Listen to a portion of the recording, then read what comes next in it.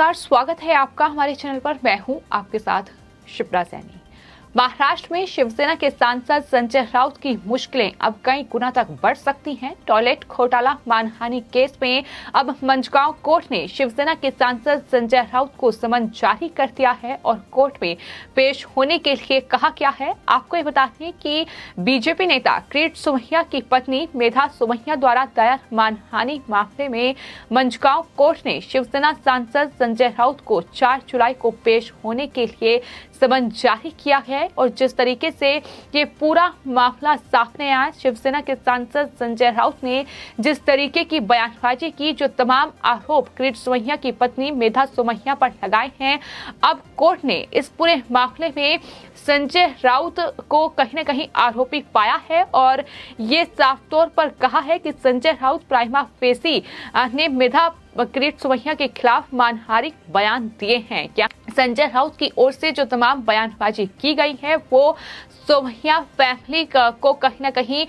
उनकी प्रतिष्ठा को दांव पर लगाया गया है। कहीं ना कहीं उनकी छवि को ठेस पहुँचाने के लिए ये तमाम बयानबाजी की गई है ये साफ़ तौर पर जो कोर्ट के न्यायाधीश हैं, उन्होंने भी माना है और यही वजह है कि इस पूरे मामले में जो मानहानि का मामला संजय राउत के खिलाफ दर्ज किया गया था, इस पूरे मामले में अब संजय राउत को कोर्ट ने समन जारी कर दिया है और चार जुलाई तक उन्हें कोर्ट में पेश होना होगा तो इस पूरे मामले में अब संजय राउत की मुश्किलें कितनी ज़्यादा बढ़ सकती हैं, इसका अंदाज़ा इसी बात से लगाया जा सकता है कि जिस तरीके से संजय राउत कहीं ना कहीं इस टॉयलेट घोटाले का ज़िक्र करके क्रीट सुमैया और उनकी पत्नी मेधा सुमैया को घेरने की कोशिश कर रहे थे, कोशिश ये की गई कि इस पूरे मामले में उन्हें जेल सलाखों के पीछे पहुँचाया जाए, लेकिन अब कहीं ना कहीं उल्टा संजय राउत पर ही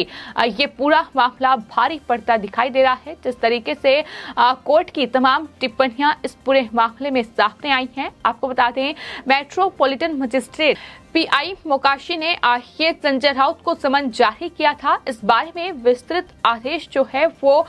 शुक्रवार को आया था। तो आपको बता दें, शिवसेना नेता संजय राउत को मजिस्ट्रेट ने 4 जुलाई तक अब अदालत में पेश होने का निर्देश दे दिया है और वहीं ये साफ़ तौर पर कहा है कि मानहानि की सामग्री देखते हुए प्रथम दृष्टि में जो इस्तेमाल किए गए शब्द हैं, वो दरअसल सुमहिया की प्रतिष्ठा को ठेस पहुंचाते हैं। यानी जो मेथा रेखा सोमैया पर टिप्पणियाँ की गई हैं। वो कहीं ना कहीं उनकी प्रतिष्ठा को ठेस पहुँचाने का काम किया गया है। उनकी छवि को धूमिल करने का काम किया गया है। ये कोर्ट ने बाकायदा माना है और यही वजह है कि मजिस्ट्रेट पीआई मोकाशी ने राउत को सीआरपीसी की धारा 204 ए के तहत समन जारी करके के अदालत में पेश होने का आदेश दिया है। इस पूरे मामले में जो कोर्ट की तरफ़ से टिप्पणी की गई है, उसमें मजिस्ट्रेट ने ये साफ़ तौर पर कहा है कि इन दस्तावेजों और वीडियो क्लिप को रिकॉर्ड पर प्रस्तुत किया गया है और ये देखने में पता चलता है कि आरोपी ने, यानी संजय राउत ने शिकायत करता। इधर सुमैया के खिलाफ जो 15 अप्रैल और 16 अप्रैल को बयान दिए हैं, वो अपमानजनक बयान हैं ताकि इसे बड़े पैमाने पर जनता देख सके और इसे अखबारों में जनता द्वारा पढ़ा जा सके। यानी साफ़ तौर पर मजिस्ट्रेट की ओर से इशारा ये किया गया है कि ये पूरा मामला जो है कहीं ना कहीं एक प्लानिंग के तहत हुआ है कि किस तरीके से उनकी छवि को खराब किया जाए, किस तरीके से इस पूरे मामले में क्रीट सुमहिया और उनकी पत्नी मेधा सुमहिया को फंसाया जाए। आपको ये बताते हैं कि संजय राउत के द्वारा मीरा भयंदर इलाके में सुमैया पर 100 करोड़ रुपए के शौचालय घोटाले का आरोप लगाया गया था, जिसके बाद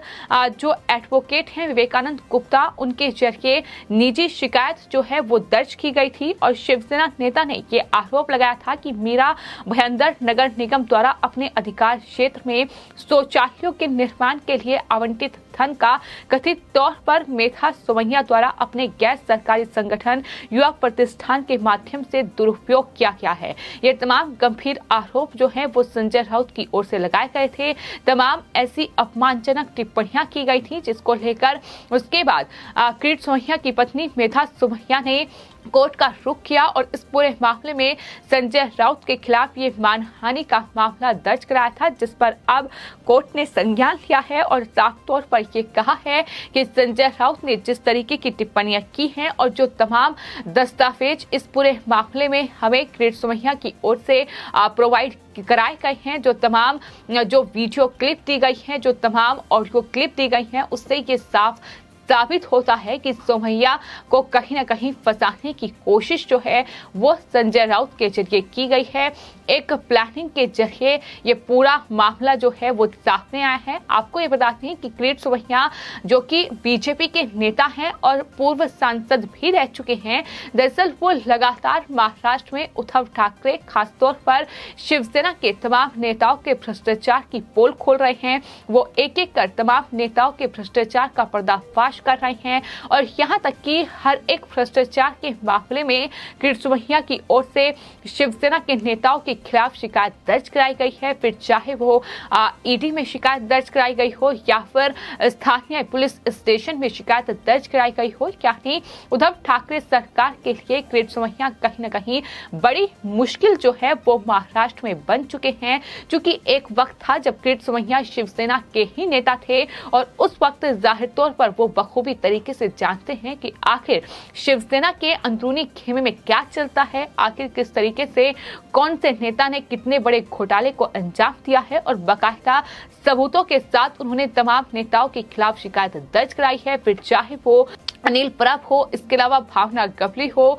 ऐसे तमाम नेता हैं, आनंद अड़सुल हो। इन तमाम नेताओं के खिलाफ जो है वो कृत सुमैया की ओर से केंद्रीय जाँच एजेंसी ईडी और साथ ही स्थानीय पुलिस स्टेशन में शिकायत दर्ज कराई है। कई मामले ऐसे हैं जिसमें कहीं ना कहीं शिवसेना के लिए मुश्किलें कई गुना तक बढ़ चुकी हैं।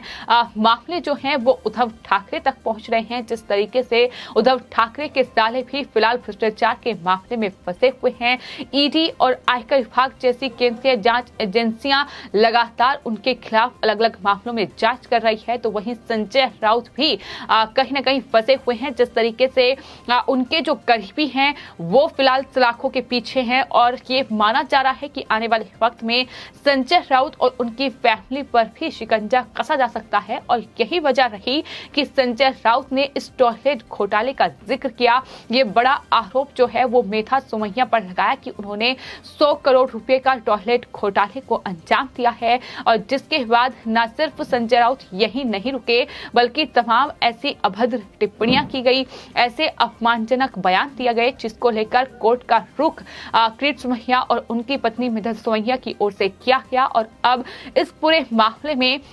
कोर्ट ने संज्ञान लिया है और इस पूरे मामले में आरोपी संजय राउत को पाया है कि उन्होंने जो टिप्पणियाँ की हैं, वो ज़ाहिर तौर पर उनकी प्रतिष्ठा को खराब करने के लिए की गई हैं। जो टिप्पणियाँ की गई हैं, वो उनकी छवि को धूमिल करने के लिए की गई हैं और यही वजह है कि 4 जुलाई तक संजय राउत को कोर्ट में पेश होना होगा। ये साफ़ तौर पर कहा गया है। तो आपको ये बता दें कि जो मेधा सुमैया के वकील हैं, विवेकानंद गुप्ता, उनके माध्यम से जो दायर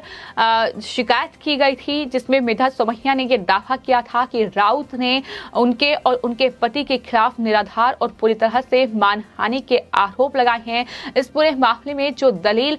उनके वकील की ओर से कोर्ट में दी गई, उसमें यह साफ़ तौर पर कहा गया कि आरोपियों द्वारा मीडिया में जो बयान दिया गया है, वो मान हानिकारक है और ये बयान आम जनता की नज़रों में छवि खराब करने के लिए दिए गए हैं और यही मेधा सोमैया ने कोर्ट से ये अनुरोध किया था कि संजय राउत को नोटिस जारी करके उनके खिलाफ मानहानि के आरोप में भारतीय दंड संहिता की धारा चार सौ निन्यानवे और 500 के तहत कार्रवाई शुरू की जाए और इस पूरे मामले पर अब कोर्ट ने संज्ञान लिया है। आपको ये बताते हैं कि आईपीसी की धारा चार सौ निन्यानवे वानहानि से संबंध रखती है, जबकि धारा 500 अपराध के लिए सजा का प्रावधान करती है और ये साधारण कारावास हो सकता है, जिसे दो साल तक बढ़ाया जा सकता है। तो ऐसे में जुर्माना या फिर दोनों हो सकते हैं। यानी